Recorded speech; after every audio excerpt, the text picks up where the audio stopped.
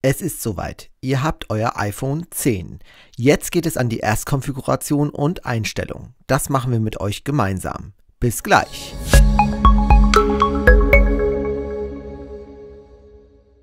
Willkommen in der Technik-Videowelt. Ich bin Alper und heute schauen wir uns das iPhone 10 an und machen gemeinsam eine Erstkonfiguration bzw. Ersteinrichtung.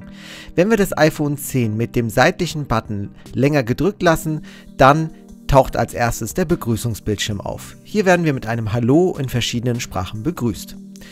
Das, was direkt auffällt, ist ja, dass wir keinen Home-Button haben. Früher heißt es ja, um zu starten, drücken Sie den Home-Button.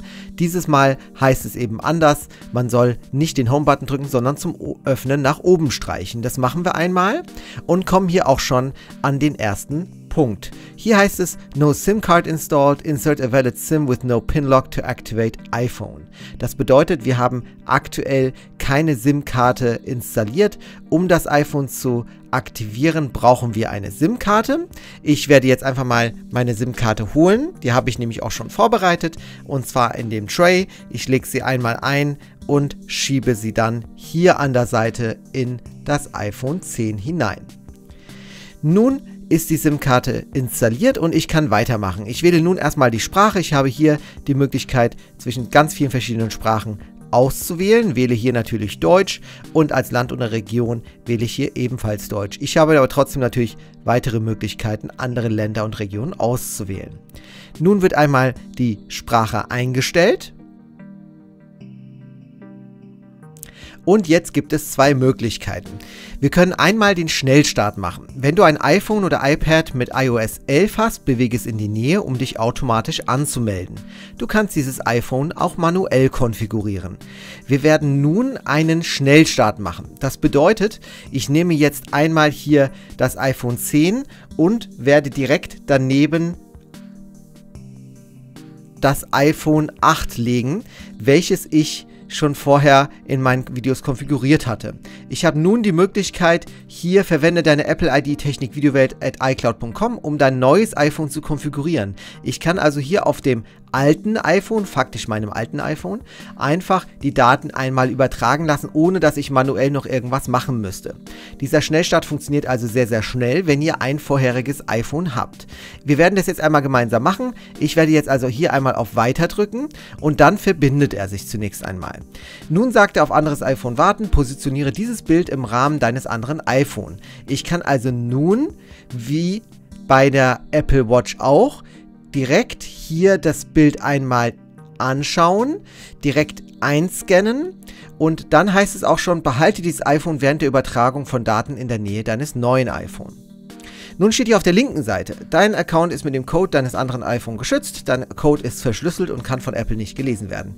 Nach dem Eingaben dieses Codes wird er auch als Code für dieses äh, iPhone verwendet.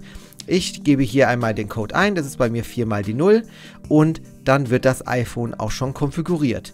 Das Aktivieren deines iPhone kann einige Minuten dauern. Wir warten dementsprechend etwas. Wie ihr seht, ist das andere immer noch hier auf der Seite. Auf dem neuen iPhone abschließen, behalte dieses iPhone während der Übertragung in der Nähe.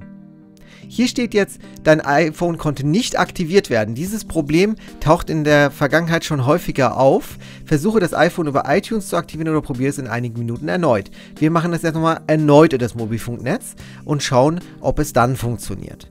Wenn das nicht funktionieren sollte, kann man es auch über das Mobilfunknetz ausprobieren. Wir warten kurz. Wie ihr seht, hat das Ganze nun geklappt. Weswegen? Weil natürlich die Daten vom WLAN mittlerweile auch schon auf dem iPhone 10 angekommen sind. Das sehen wir hier oben an den drei Strichen, die einem zeigen, dass wir mit dem WLAN verbunden sind. Nun können wir einmal die Face ID machen. Das iPhone kann die eindeutigen dreidimensionalen Merkmale deines Gesichts erkennen, um das äh, Gerät automatisch zu entsperren und Käufe in iTunes und App Store zu tätigen. Diese Face ID ersetzt faktisch den, äh, die, den vorherigen Button, den wir hier drücken mussten, um uns einmal einzuloggen. Das heißt, dieses Mal ist also die Face ID dafür da, um das iPhone zu entsperren oder auch um Käufe zu aktivieren. Wir klicken einmal auf Fortfahren.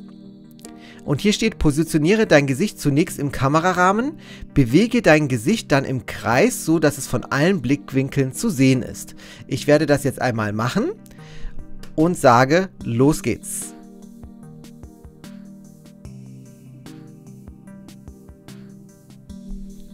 Was habe ich jetzt in dieser Zeit gemacht? Ich habe zweimal meinen Kopf im Kreis gedreht, während ich hier in die Kamera reinschauen musste. Währenddessen hat er mein Gesicht abgetastet und ich hoffe, er hat mich auch dementsprechend erkannt. Face ID ist jetzt konfiguriert und ich kann jetzt auf Weiter klicken.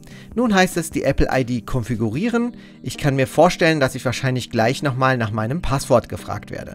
Aber das werden wir gleich nochmal sehen. Für Technik Videowelt wurde zuletzt am 5. November um 19.49 Uhr ein Backup erstellt. Möchtest du jetzt ein Backup erstellen, damit dein neues iPhone mit den aktuellen Apps, Daten äh, und Einstellungen wiederhergestellt werden kann? Ich kann einfach sagen, aus 5. November Backup wiederherstellen.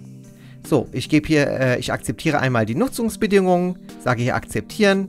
Auf meinem alten iPhone 8 kann, äh, steht jetzt auch schon auf dem neuen iPhone abschließen. Das heißt, das ist prinzipiell erledigt. Ich kann das jetzt einfach weglegen. Ich lasse es aber einfach mal der Einfachheit halber mal dort stehen.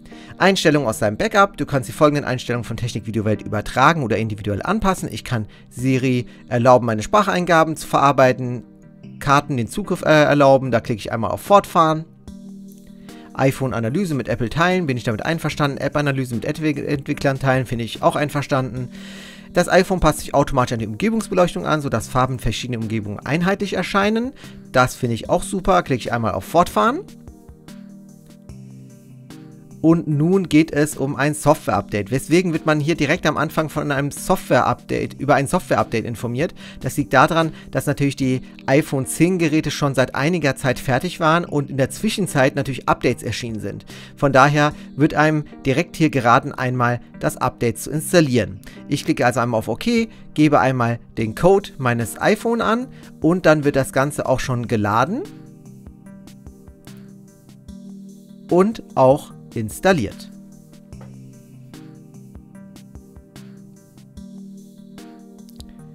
Zum Abschließen der iOS 11.1 Konfiguration nach oben streichen. Das machen wir jetzt einmal.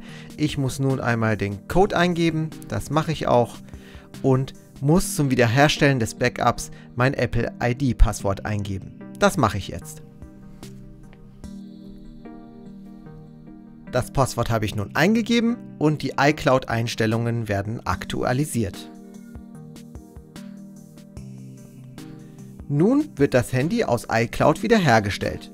Nun wird das iPhone 10 erneut neu gestartet und es heißt zum Aktualisieren nach oben streichen. Das machen wir einmal, müssen einmal erneut unseren Code eingeben und dann wird das Ganze wiederhergestellt. Wir sehen also wieder das Apple-Icon und wieder den Fortschrittsbalken. Das Ganze ist doch etwas aufwendiger, als man vielleicht zunächst denken mag.